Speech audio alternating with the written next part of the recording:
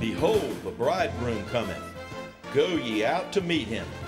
Now is the time to trim your lamps and get ready for the coming of the Lord. Stay tuned for the Midnight Cry broadcast.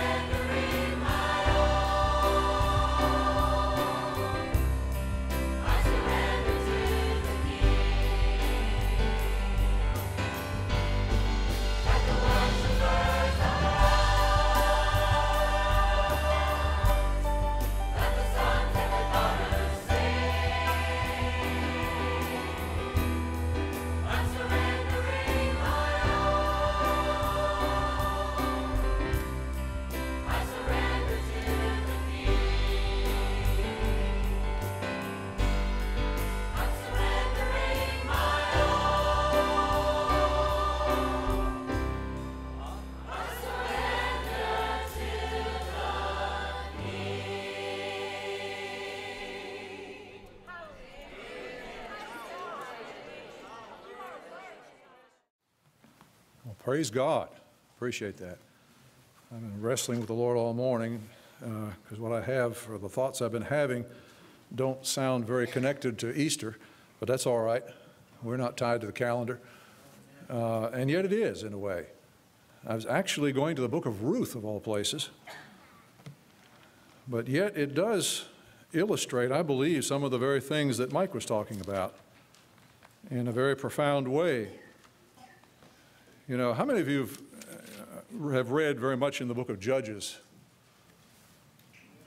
Yeah, it's pretty ugly, isn't it? Uh, a lot of stuff. You see the people in terrible condition, constantly drifting into idolatry, and God sending judgment and sending deliverers, and even the deliverers weren't all that much to shout about sometimes. I mean, the Lord blessed Gideon, but he, he had his faults too. But you see God's mercy and God's faithfulness. But the one thing that, uh, that struck me as I got to the end of Judges and started reading Ruth the other day was the fact that this took place in the middle of all that. So, in the middle of all that God, and all that was wrong with the nation, God had a people, didn't He? God always had a remnant of people who were faithful to Him and who believed in Him, who trusted in Him. And this was a story about that. And of course, just to give you quickly the, the background of it, uh, you remember that there was uh, a man in Bethlehem in Judah, and uh, he and his wife and his, his two sons uh, went to live in the, in the neighboring country of Moab, and they did it because, there, because of circumstances. Mike was talking about how Lord arranging circumstances. Well, this was one where he allowed them to experience a famine in Judah, and so they had to go over to Moab to, to try to survive. And, uh, you know, they, and so they settled there, and over a period of some years, uh, they had two sons, Mahlon and Chilion and they married a couple of, of Moabite girls. And so life was good, and you know they were hang, they were going on, and all of a sudden, well, over a period of time, I don't know how sudden it was, but all three of the men died. So now you've got a widow named Naomi, and her her two foreign daughters-in-law living there, and uh, you know I'm sure they were struggling for their existence, and things were, you know, not great. But then all of a sudden. Uh, Naomi heard that things had changed back home, and so she said, I'm going to go home. And that's the background of it. And so uh, on, they were on the road, and actually her two daughters, daughters-in-law were so attached to her at this point that they actually began to follow her, didn't they? And so uh, in verse 8 it says, Then Naomi said to her two daughters-in-law, Go back, each of you, to your mother's home May the Lord show kindness to you as you have shown to your dead and to me. May the Lord grant that each of you will find rest in the home of another husband. Then she kissed them, and they wept aloud and said to her, We will go back to you with your people. So at this point, both of them are still attached to her enough that they want to go back. Obviously, they had seen something in her. Now, perhaps it was, well, you'll see as you go along that uh, I, am sure both of them liked her, both of them felt safe in her company, and they, they felt a natural attraction to her as a person. But there came a point where they, they went in two different directions, didn't they? And so here's the, uh, the circumstance that God had arranged. It says, But Naomi said, Return home, my daughters. Why would you come with me? Am I going to have any more sons who would, could, could become your husbands? Return home, my daughters. I'm too old to have another husband. Even if I thought there was still hope for me, even if I had a husband tonight and then gave birth to sons, would you wait for them till they grew up? Would you remain unmarried for them? No, my daughters, it is more bitter for me than for you because the Lord's hand has gone out against me. And so, I mean, she's laying out how it really is here. And I'll tell you, there's a principle that you see throughout the scriptures when it comes to people coming to God, and that is counting the cost. Because there is a cost in serving God. It, you have to have the real goods if you're going to follow Him and, take, and be separated from this world. You've got to have something beyond affection for somebody, beyond any natural tie. And this is what was uh, what the Lord was. Lord was arranging a circumstance. Now, the, the glorious thing about all of this is that God, from the very beginning, you can see His hand. You know, we, we can read the whole story now, so we know we can say, "Hey, hang on, it's going to be okay." But they didn't know that at the time. They're, they're, as far as they were concerned, they saw no particular reason to go forward. There was no natural, natural thing that could have caused either one of these girls to continue on their journey. But God had had from the beginning his eye upon a girl, a foreign girl. He loved her, he planned for her. He had, talk about the Lord having plans. The Lord had plans for that girl that she had no concept of. But in order to bring her into that, he had to first strip away every other consideration and say, you know, what is your life really about? Where you, what do you really want? And I, and I sense, I, I don't know, I, I, have nobody particular in mind here today, but I just, I just felt this, this burden to say, to say these things, and, and what the Lord does with it, that's up to Him. But you know, pray. We've got people in our midst that haven't really made up their mind. They haven't really seen. And you got to see something in this world. You know, it's, it's too easy in America to, to join a church and think you're a Christian. But you know, what's going to happen if the day comes when it's not like that? Are you going to have what it takes? Well, at this point, at this they wept again. Then Orpah kissed her mother in law, but what did she kiss her? Goodbye. She kissed her goodbye. But Ruth you know, if you got the right thing and you, you can't, people can't run you off. Because you're not there because of, because somebody has sweet talked you or tried to persuade you or because you have some natural attachment. You are there because you see something that is, that you can't let go. It can't, it has, it's got a hold in your heart and your life. It's a conviction. It's a God-given conviction. And you know, you, you don't really see, other than the result, we don't see the dealings of God with this girl's heart. But somehow, somewhere, she had not only developed an attachment of affection for her mother in law, she saw something in her about the God of Israel that she served. And so it made every bit of the difference you know, we can have people grow up here, and you're here because, well, it's expected. You're here for a lot of reasons. You might like somebody, you might like the people you hang out with. You got a whole lot of natural reasons. But I'll tell you, God has a way, as Mike said, God has a way of arranging circumstances to bring people to what? To real, true conviction and faith. And it has to be a revelation. As I say, all we can surmise is from the context of Scripture and from the result that we see in Ruth's response that we're about to read. Ruth saw something that Orpah did not. Now, how does that happen? I mean, how does it happen that one person sees and another one doesn't? God has to reveal it. God has to deal with the heart. And you know, I, you got folks out there that think that when God deals with the heart, it's inevitable. Well, I'll tell you what, we've got a will. We've got to have to, we're going to have to yield. There's going to have to be choices made. God brings conviction a lot of, on a lot of people who, who, who go like this and they they run from it. To them, it's a terrible thing. To them, it's a, oh, what God is expecting from me is unfair. It's, un, it's just, you know, I want, I want this. How many of you have seen people who, uh, when there's a real call to, about salvation, some message about salvation, they run to the front and they, they cry and they cry and they cry. And then nothing really changes. You know what those tears are really about? It's, I know I need Jesus, but I want my life so bad that I'm not willing to give it up. And you know, I, I know somehow it's, it's obvious to me that Orpah here had such an affection for her mother in law that it really broke her heart that she couldn't have it both ways. But she was, what was she looking at? What was her, when she was evaluating her situation and making her choice, what was it that she saw? She saw strictly the earthly issues.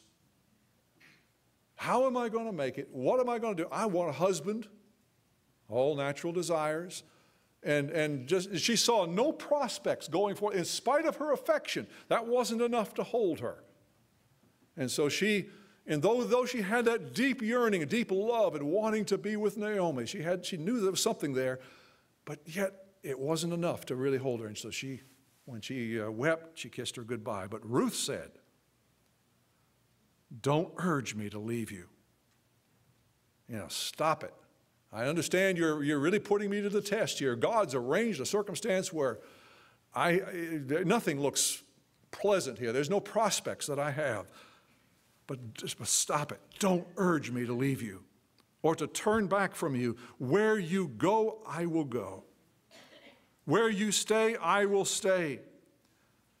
Now, here's a dimension that is often overlooked. Your people will be my people, and your God, my God. Do you, understand, do you know that God has people in the earth? Well, you know, when you get down to it, they're not, very, they're not much. We don't have anything to brag about. But I tell you, God has people in the earth. They're, they're flawed. They're in all kinds of all kinds of the process, stages of the process of God working in hearts and lives to change us into what He intends that we become. But I tell you, there's a people who have something on the inside that says there's, there's no place else to go. That's it. It doesn't matter whether, whether it looks whether, whether things look promising or they don't. I know, I know God is real. How many of you have tried to put, put that aside and say, I'm just going to, I'm mad at God, I'm going to do this, I'm, going, I'm not going to do this anymore? How many of you have ever, how many would admit it? You know, that you've experienced. Yeah, well, see, Ron's got the courage. I'll, I'll admit it too.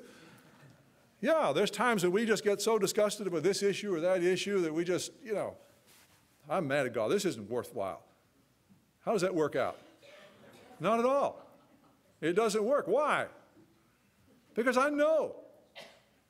I, there's something down in there. There's a conviction that's been formed because God put it there. Somewhere along the line, God formed a conviction with me. I can't do anything else. It doesn't matter how my emotions go or what my circumstances are, I have nowhere else to go. You know, what is it that has held God's people down through the ages except a conviction that God is real? And that they are far better off being identified with God and with His people than they are anywhere else. And so you see this conviction your people will be my people, and your God, my God. Where you die, I will die, and there I will be buried. May the Lord deal with me, be it ever so severely, if anything but death separates you and me. I mean, that's pretty strong conviction right there. Only God can give somebody a conviction. Folks, we are not dependent. You and I are not dependent on the strength of our wills when it comes to this. This happens when God begins to deal with a heart, and that heart, instead of going like this, says, Yes, Lord. And it begins to yield and it softens, and the ground becomes plowed up, and the circumstances of life brings, bring a softening towards God instead of a hardness and a bitterness. And then God plants the seed of real conviction and faith there. And it begins to come up, and God waters that and He prepares it. And so when the trials and the tests of life come, you know there's no other place to go. Praise God. Now you look at how, what an utter choice this really was. Because Orpah didn't just go home for better earthly prospects, she went back to her gods her people, her gods. It was an entirely separate people. How many of you know there are really two kinds of people in the world? It's not good and bad people. We're all bad. We just, some of us, you know, understand that and know we need a Savior. And God's working in us. But the truth is, there are God, God is calling out a people. They are a people who have a conviction that this world is not their home, this world system is something to be turned away from and run from like poison. It is, it's the, the world is destined for the fire and its inhabitants to perish. And there are gods in this world. You know, I, on the one hand, you have the, the kingdom of darkness that rules over the hearts and lives of men. You think you're free? You know, I, I, I, think I mentioned before, but I've met people who don't think they they have to serve either God or the devil. There's no choice. If you don't serve God, you are serving the devil. You are a part of a world that is married to its own desires, its own ways, its, and their mind is on earthly things. And I'll tell you, people like that, that's, they're the enemies of the cross of Christ. And that means simply they don't want to die. They don't want to let go. They don't see the value of letting go. The utter, they don't see the deliverance that God has wrought through His Son, the Lord Jesus Christ, to absolutely set us free from something, unless He opens your eyes to what it really is, it will still hold its appeal to you, and you'll still want to go and do, do things its way. But oh, I'll tell you, there's a, there, God is, is absolutely in this hour, I believe, and He's done it in every hour. Whenever He's dealt with a heart, it's like Mike says, there, He's going to arrange the circumstances to where you and I are going to make a radical choice. It's either me and my life in this world doing, doing things the way I want to do them, or I'm going to let go and I'm going to serve God and I'm going to trust in Him. I'm going to put all the issues of life in His hands to do with me as He will, to arrange my life as He will. You know, He can put somebody on a throne or He can put them in the, you know, in, in extreme poverty. But I'll tell you, I would rather be, well, as, as David said, I'd rather be a doorkeeper in the house of my God than to dwell in the tents of wickedness. I tell you, you can't say that unless you really see unless God has opened your eyes to see the difference. But I'll tell you, when, when Orpah said no, it wasn't just no to Naomi, it was no to the God who would have drawn her in and made her a part of his covenant people. And here's this poor little heathen girl named Ruth. Somehow God had birthed in her such a conviction that, in spite of the fact there, was, there were no prospects that she could possibly have discerned at that time, all she knew was she was going to stick with the stuff and come hell or high water, come poverty or whatever. She, she wasn't leaving, period. I'm with you through thick and thin. But oh, I'll tell you, God had plans for her, didn't He? His love, it was His love that had brought her to such a conviction. And she became one of the more honored people in the scriptures. There's a whole book devoted to her story. Oh, I'll tell you, you can't lose serving the Lord. And I don't care what the temporary circumstances are that, that involve laying down our lives and saying no. Oh, the reward is eternal. Praise God. Do we have something to live, to, to live for this morning? Praise the Lord. And of course, you know the rest of the story how God brought her to the attention of, of one of uh, Naomi's relatives, a, a, a, wealthy man named Boaz, and he was uh, in the middle of his harvest, and she went out and harvested in his fields, and he took note of her. And, you know, her reputation had, had gone before her. Everybody knew about this young woman and how she had made that radical choice. There was already a respect for this woman. God had put that in the hearts of his people. That tells me God had some people. They weren't all bad. They weren't all a bunch of idolaters. God had some people who had some real conviction about serving him. And so God absolutely worked one thing after another after another. She wasn't out saying, how can I get, how can I get ahead? How can I do this? She wasn't scheming. She wasn't doing anything. Just trusting God and doing what came, came to her hand. And you see God maneuver one step at a time until she winds up as Boaz's wife. And God blesses them, and they have a, a son named Obed. Obed had a son named Jesse. Jesse had a son named David. And all of a sudden, you have, you have this heathen girl brought in, given a divine revelation. And, and, she, and, they begin to, and she steps right into the line of God's eternal purpose, and she actually was one of the progenitors of our Lord Jesus Christ according to the flesh. I tell you, we serve a great God. We serve a God who is worthy to be served, whatever the cost. But oh, God is going to bring every soul that He brings to Himself to that point. Which are you going to go? Which way are you going to go? And I don't know who's, I don't know who this may apply to. I have no idea. But somehow it just, I cannot shake it. And so, you know, halting words, whatever is going to come out, that's, I, I pray that God will absolutely convict somebody.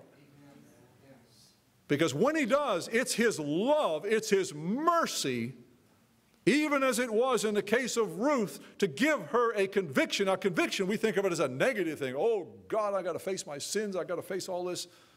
Yeah, that's part of it. But the conviction is not just that you're a sinner needing a Savior. The conviction is that Jesus Christ is a Savior who is worthy to be served and, to, and worthy of your life.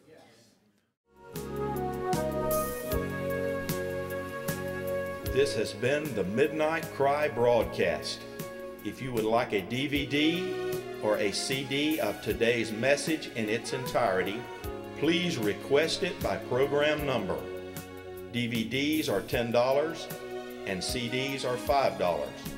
And for those who request it, we will send you our quarterly publication, The Midnight Cry Messenger, free and postage paid. Send your request to Midnight Cry Ministries, Post Office Box 685, Southern Pines, North Carolina, 28388. We invite you to join us again next week at this same time, and may God richly bless you until then.